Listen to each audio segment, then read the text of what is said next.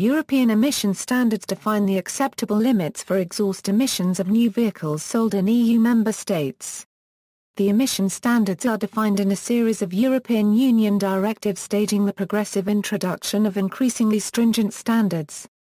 Currently, emissions of nitrogen oxides, total hydrocarbon, non-methane hydrocarbons, carbon monoxide and particulate matter are regulated for most vehicle types, including cars, lorries, trains, tractors and similar machinery, barges, but excluding seagoing ships and aeroplanes. For each vehicle type, different standards apply. Compliance is determined by running the engine at a standardized test cycle. Non-compliant vehicles cannot be sold in the EU, but new standards do not apply to vehicles already on the roads.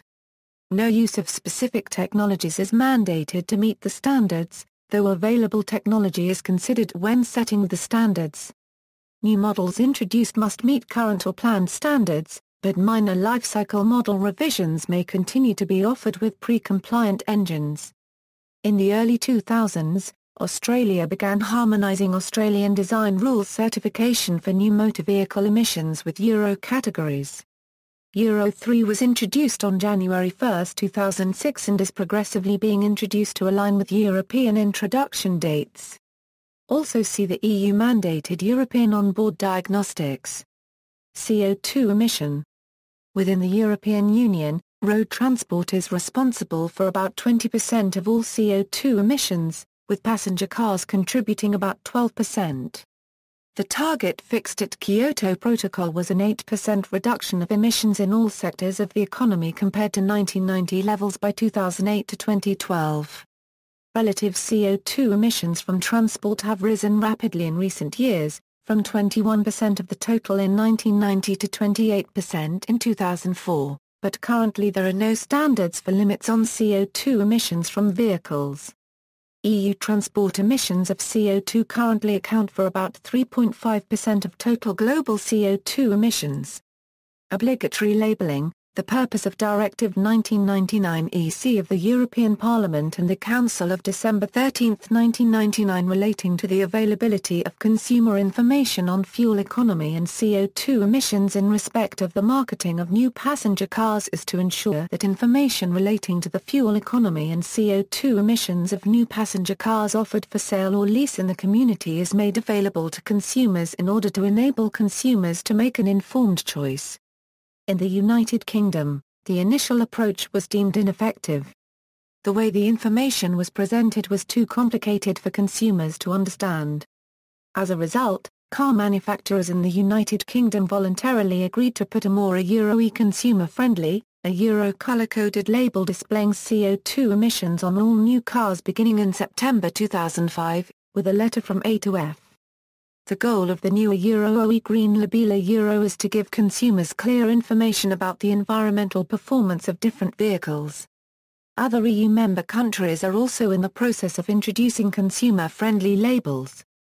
Obligatory vehicle CO2 emission limits, EU Regulation No 443-2009 sets an average CO2 emissions target for new passenger cars of 130 grams per kilometre.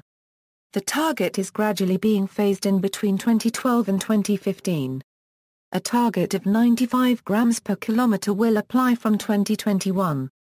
For light commercial vehicle, an emissions target of 175 grams per kilometer applies from 2017 and 147 grams per kilometer from 2020.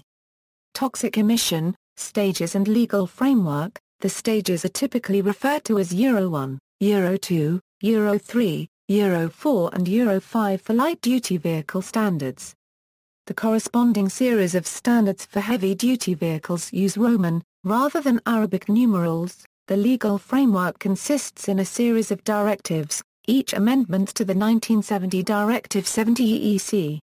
The following is a summary list of the standards, when they come into force, what they apply to, and which EU directives provide the definition of the standard. Euro 1, for passenger cars, 91 EEC. Also for passenger cars and light trucks, 93 EEC. Euro 2 for passenger cars, 94 EC, for motorcycle, 2002 EC, 2006 EC, Euro 3 for any vehicle, 98 EC for motorcycle, 2002 EC, 2006 EC. Euro 4 for any vehicle, 98 EC, Euro 5 and Euro 6 for light passenger and commercial vehicles, 715 EC. These limits supersede the original Directive on Emission Limits 70 EEC. The classifications for vehicle category are defined by Commission Directive 2001 EC of December 20, 2001, adapting to Technical Progress Council Directive 70 EEC on the approximation of the laws of the member states relating to the type approval of motor vehicles and their trailers, Directive 2002 EC of the European Parliament and of the Council of March 18, 2002 relating to the type approval of two- or three-wheeled motor vehicles and repealing Council Directive 92 EEC. In the area of fuels, the 2001 Biofuels Directive requires that 5.75% of all transport fossil fuels should be replaced by biofuels by December 31, 2010 with an intermediate target of 2% by the end of 2005. However, MEPs have since voted to lower this target in the wake of new scientific evidence about the sustainability of biofuels and the impact on food prices.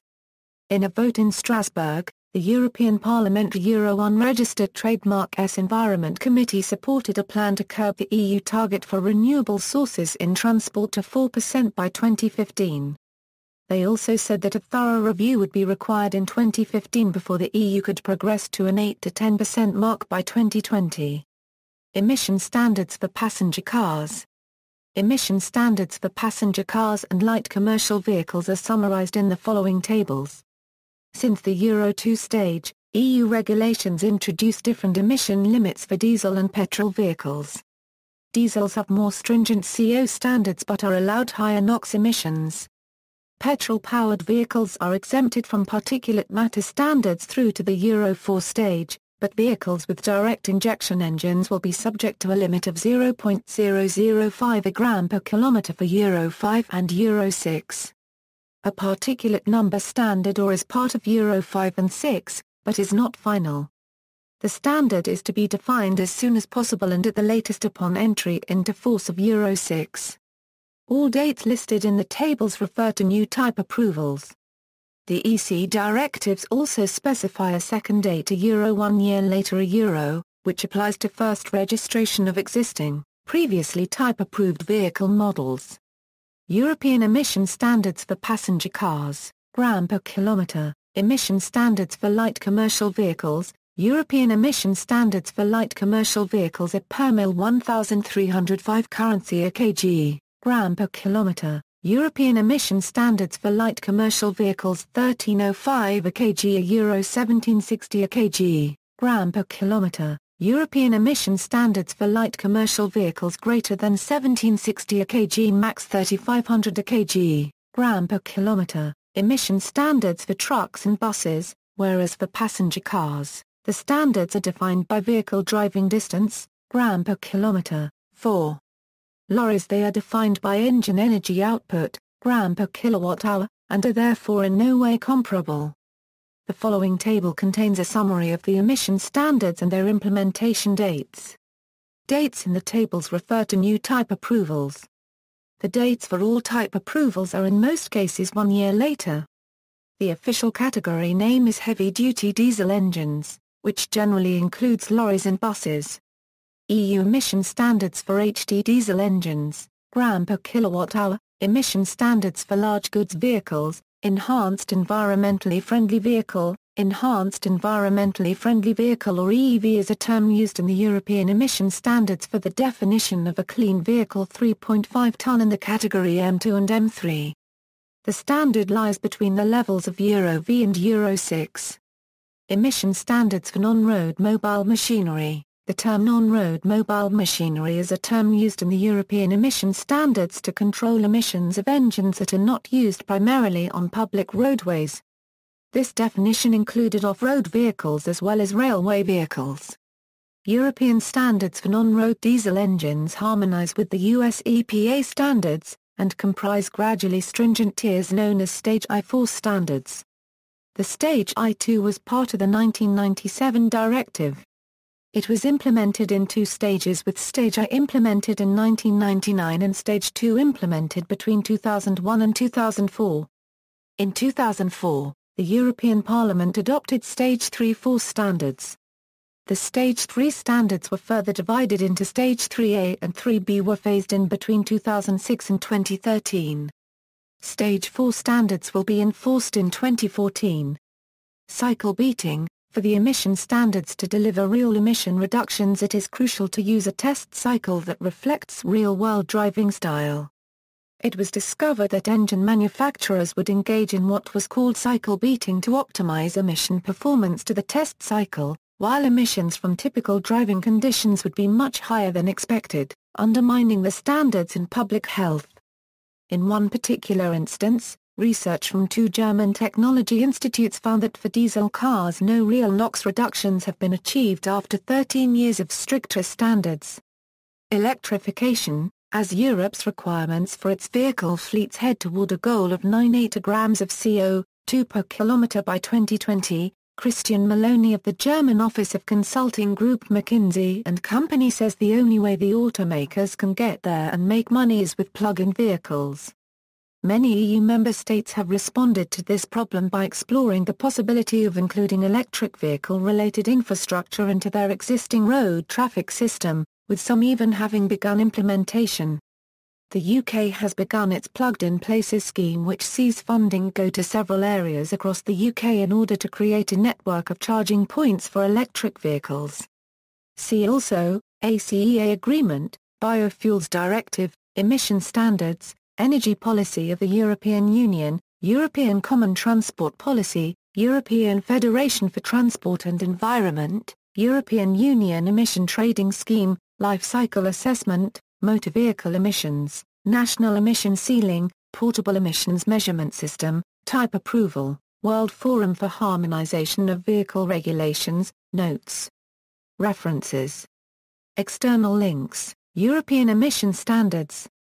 European Environment Agency, EEA Glossary, EEA Transport page. Euractiv.com, Euro 5 Emission Standards for Cars, DieselNet, EU Emission Standards, Netherlands Environmental Assessment Agency The impact of Euro 5, facts and figures. Commission proposal for Euro 5, T&D, no diesel NOx reduction in 13 years due to cycle beating, COM 2007-19 Results of the review of the community strategy to reduce CO2 emissions from passenger cars and light commercial vehicles, European Commission Conference, Options to reduce greenhouse gas emissions due to mobile air conditioning, in the media, July 2, 2007, Auto Industry, ACEA welcomes EU Environment Council Euro unregistered trademark S recognition of need for integrated approach to CO2 reduction, February 7, 2007, BBC, EU car CO2 fight only. Beginning, February 7, 2007, European Commission, EU plans legislation to cut CO2 emissions from cars. February 6, 2007, International Herald Tribune, EU to compromise on auto emissions, January 31, 2007, Transport and Environment, Europe set to clean up fuels but stalls on cars, January 31, 2007, European Commission, EU proposes stricter fuel standards to cut CO2 emissions, January 24, 2007, The Guardian, Grand Plan for a Low-Carbon Europe goes up in smoke, October 19, 2004, European Environment Agency, poor European test standards. Understate air pollution from cars,